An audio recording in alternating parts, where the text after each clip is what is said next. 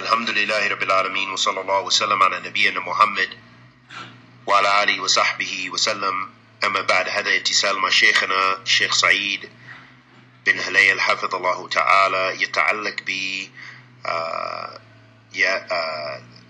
الداعي ياسر قاضي وكذلك المعاملات مع أهل البدعة عليكم السلام ورحمة الله وبركاته. حياك الله شيخنا. حيا الله الشيخ خالد. الله يحييك آه، لا تكون مشغول؟ أبدا. جزاك الله خيرا شيخ. آه السؤال آه في داعي مشهور ياسر قاضي الأمريكي متخرج من جامعة الإسلا- الإسلامية وفيه ماجستير. والرجل يعرف الحق وأصول في الدين وفيه إتقان في القرآن الكريم. آه ولكن الرجل يعاقد مع أهل البدع من الصوفية والشيعة والأشاعرة أن لا يتكلم في البدع وفرقة.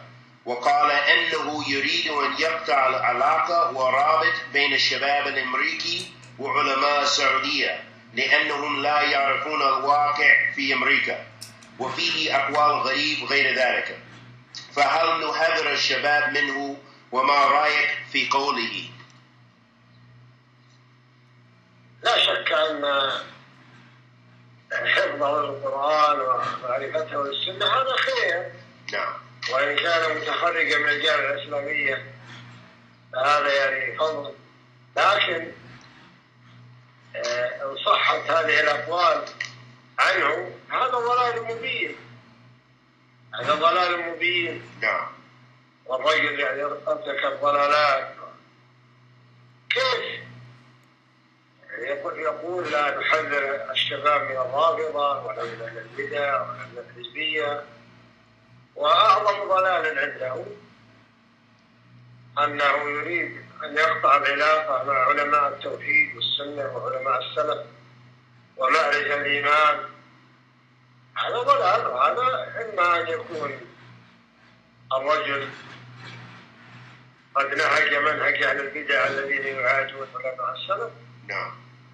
أو أن الرجل أصيب بعقله أو أن لديه معرفة أخرى الله أعلم لكن لا شك أن الواجب على طلبة العلم في أمريكا وفي غيرها أن يحذروا هذا الضلال الذي آه، يحمله هذا الرجل الذي يتفوه به وأن يحذروا الشباب من ضلالاته هذه وعليهم أيضا أن ينصحوه عن هذا آه، الأمر الذي وقع فيه. نعم. والتحذير منه خير. نعم. التحذير منه ومن الأمثال خير. ومن الجهاد في سبيل الله ومن الدعوة إلى الله. مم. نعم. جزاك الله خيرا شيخ. آه إذا تكلم في رجل من أهل البدع فهل نصفه بالخبث ونتكلم في عرضه لأنه وقع هذا؟ بسم الله والصلاة والسلام على نبينا محمد وعلى آله وصحبه وسلم أما بعد أيها الأحباب Sheikhana Saeed bin Halayl Hafidullah Ta'ala was asked about the statements of Yasser Qadi and the question was there is a well known American Da'i named Yasser Qadi who graduated from the Islamic University with a master's degree, and he knows the truth, the foundations of the religion, and is very proficient in the Holy Quran. However, the man makes a pact with the people of innovation, like the Asharis, Sufis, Shia, and others, to not speak about innovation and divisions. Also, he says that he wants to sever the ties and relationships between American youth and Saudi scholars because he claims they have no knowledge of the situation in America, as well as other strange statements. Should we warn the youth about him? And what is your opinion of his statements? The Sheikh responded, Hafidullah Ta'ala, by saying, No doubt that proficiency in the Quran is good and studying the Sunnah. If he graduated from the Islamic University, great. However, if those statements attributed to him are true, then that is plain misguidance. It is plain misguidance. and throwing away guidance for misguidance. How can he say not to warn the youth from the Rafida, nor from Hizbiyah? And the greatest form of misguidance that he utters is to sever the ties in relationship with the ulama of Tawheed and Sunnah, ulama of the Salaf, and those high in Iman. That's misguidance. This is a madhab.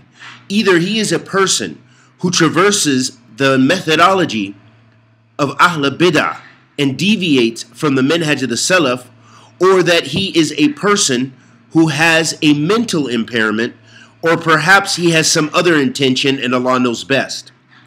However, no doubt that it is an obligation on the students of knowledge in America and in other places to beware of that misguidance which has affected this man. Also, warn the youth from that misguidance and advise him about those issues. Warning against him is good, and he is from those who cause divisions. And warning against him is from jihad in the cause of Allah and from da'wah to Allah.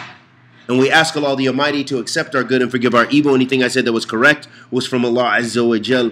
Anything I said that was incorrect was from myself and the shaitan. Wa sallallahu wa sallam ala nabiyyina Muhammad.